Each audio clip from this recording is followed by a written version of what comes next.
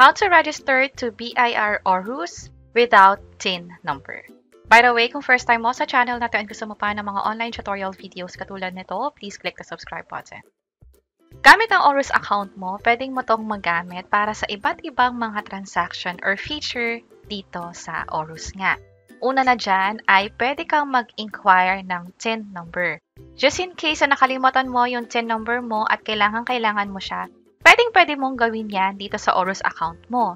Or, kung wala ka pang TIN number, pwede kang mag-sign up or mag-request ng TIN number dito. Paano? I-click mo lang tong new registration as an individual at ito na yung mga requirements para makapag-proceed sa TIN number application. Or, may iba pang mga feature katulad ng pag-generate ng digital TIN ID na siyang pwede nating magamit para nga naman sa mga transaction na pwede nating gawin na nag-require ng government-issued ID. Ito yung magiging itsura ng digital TIN ID. Meron itong one by one photo natin, details natin, at pinakamahalaga yung QR code. Itong QR code na to, pwedeng pwede itong i-scan doon sa institution na nag-require ng valid TIN ID. At from there, malalaman nila na valid itong pinapakita mong TIN ID na nakuha mo lang online sa BIR. At linawin natin na yung mga transaction na sinabi ko, yung pag-generate ng digital TIN ID, yung pag-inquire mo ng TIN number or pag-request ng bagong TIN number, especially for first-time job applicant or nire-require to sa trabaho mo, online or sa social media, libre lang lahat ito. Wala itong bayad at online lang talaga. Hindi mo na kailangan pumunta sa branch ng BIR para makuha ang mga ito. So in this video, pag-usapan muna natin kung paano ka nga ba magkakaroon ng ORUS account na siyang pwede mong magamit para sa mga transaction na pwede mong gawin sa BIR na hindi na kailangan pumunta sa branch. Unang-una, dapat pumunta ka sa website ng BIR. That's orus.bir.gov.ph.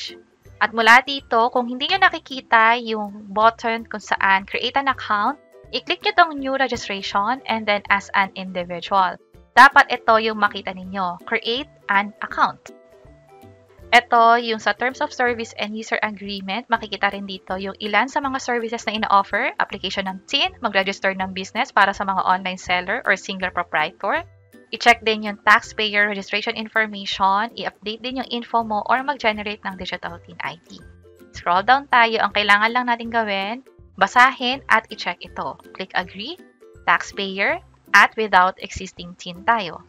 I-make sure lang na wala pa talaga kayong TIN number kasi magiging criminally liable kayo just in case na doble pala o marami pala kayong TIN number at merong penalty para dyan. So, kung hindi kayo sigurado na may TIN number na ba ako o wala pa talaga, pwede mo na kayo mag-inquire at pwede nyo yan gawin dito sa ORUS. Click ko tong I agree, user type transaction, Halimbawa, hindi ka pasok sa mga ito, hindi ka foreign national, hindi ka rin magbe-business as professional. Ito yung sa mga license katulad ng engineer, doctors, lawyers, or let's say walang board exam, walang license katulad ng mga virtual assistant, graphic designer, freelancer, or sa mga social media, pwedeng piliin itong professional. Single proprietor naman, kung nag-register ka sa DTI or meron kang maliit na negosyo, online seller, dapat ito yung piliin. Pwede rin yung combination nitong dalawa. Meron din sa bandang baba na OFW, or overseas contract worker. Pero kung hindi man pasok sa mga ito, mas maganda na piliin itong EO98 or one-time taxpayer. Click natin yung OK. Tax type, ang pipiliin natin is itong Executive Order number 98. Ito kasing one-time transaction, ginagamit lang to. Let's say magbabayad ka ng buwis ng one-time transaction lang. Halimbawa, yung bumili ka ng property, may capital gain tax yon. Ito yung pipiliin mo. Pero other than that, halimbawa, meron kang transaction sa mga government agencies or sa mga banko or institution na nagre-require ng TIN number at wala ka pa noon, ito yung piliin mo. Applicable din to para sa mga first-time job applicant. Click natin yung OK. At ito pa yung pinaka-simple explanation ng EO98. Ito yung sa mga taxpayers who have transactions sa government agencies, LTO, DFA, basta gobyerno siya, dealing with banks or institutions nga, and applications for tax treaty relief. Ilagay na dito ang pangalan, middle name kung meron, kung wala, i-check lang to. Pero sa akin, meron. And then last name, suffix kung applicable man, pero kung wala, NA, date of birth, andito yung format niya, civil status, single, and then gender, oops, civil status, hindi ko pala naklik yung okay, and then yung email address. Para sa email address, mag-ingat kung ano ilalagay na email address dito. Bakit? Kasi dito na makaka-receive ng notification from BIR. Ito na rin yung pinaka-official na gagamitin mong pang login sa Orus account mo. Make sure na wala itong space at tama yung spelling. Kasi nga naman, kapag may mali dito, hindi nyo ma-receive yung padalang email ng BIR. Click itong I acknowledge para sa email reminder. And then, oops, I acknowledge ulit. Password naman tayo.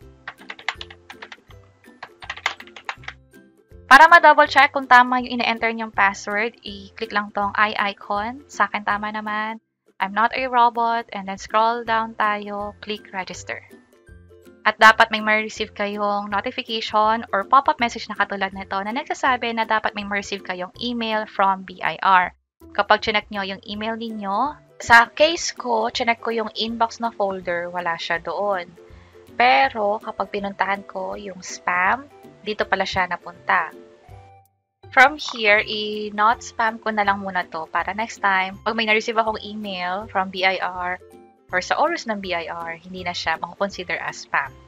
Dito na siya napunta. Click ko na tong verify your account. Mapapansin nyo kanina hindi to clickable. Ngayon, nung wala na siya sa spam, pwede ko na siyang i-click. Congratulations, you have created an account na. Click ko tong OK at mag-login na ako. Check ko to and click login.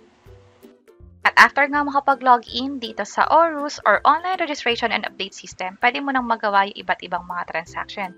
Katulad ng sabi ko kanina, hindi ka sigurado kung may TIN number ka, pero meron kang Orus account, pwede ka nang mag-inquire mula dito. Ipo-provide mo lang yung first name o yung complete details mo at pwede nang mag-proceed sa next step.